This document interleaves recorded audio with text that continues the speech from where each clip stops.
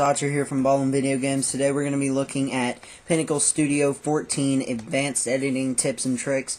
And today's episode is going to be on picture-in-picture. A lot of people have asked us how we get our picture-in-picture for some of our videos and give it that sharpness of just two different views of the same exact thing happening. Or maybe even two different videos that have no correlation but just look well together and um, are pleasing to the eye.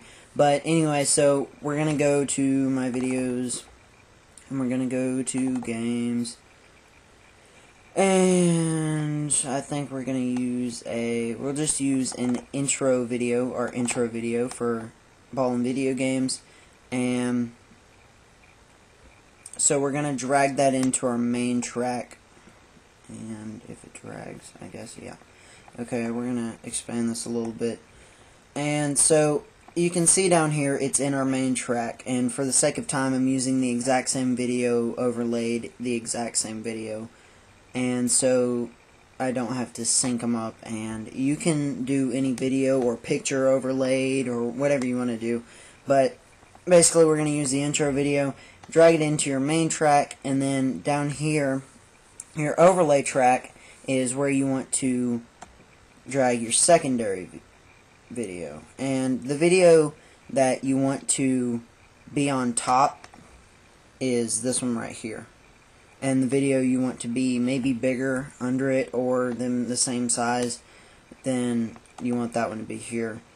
So what you want to do is you want to either double click on it to bring up your video editing tools and everything or you can go from here and just click on the little camcorder right here and it's called the video toolbox. So you can see your ribbon menu down the left and our icon down and this is just a bunch of different things you can do. But our main concern is going to be right here on the bottom too. So picture in picture is the easiest way to do it but if you want to get a little more advanced then you have Pinnacle Studio Ultimate Collection. You can also go through here and get to the exact same effects and everything. Or even more advanced, you can go to 2D Editor, and on request, I'll do a video on that. But for now, we're just going to stick with the second from the bottom, and it's going to bring up your picture-in-picture -picture and chroma key toolbox. So what you want to do is you can drag this anywhere around the screen, but I'm going to put it in the top right-hand corner, and I'm just to drag it down to make the size bigger. You can affect the border here, and I could add a border, but I mean, I don't really like to, but you can. You can round corners, soften its transparency, change the color. You can pick a color out of the video, or uh, not out of the video, out of a uh, color picker. And um, here's your shadow. You can change the shadow effects all over here and play with that. Make sure it says enable picture in picture. And so we're just going to exit out of that and it'll save it automatically.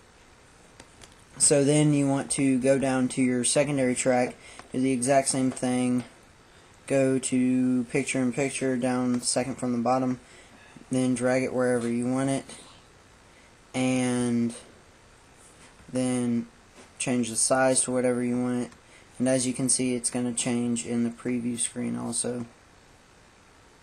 And so that's a good size. You can change all the border and shadow just like the other one. We're just going to exit out and that's pretty much all there is to it. We'll just let that play through and subscribe rate comment subscribe like always. Uh, Ballin Video Games thanks for watching guys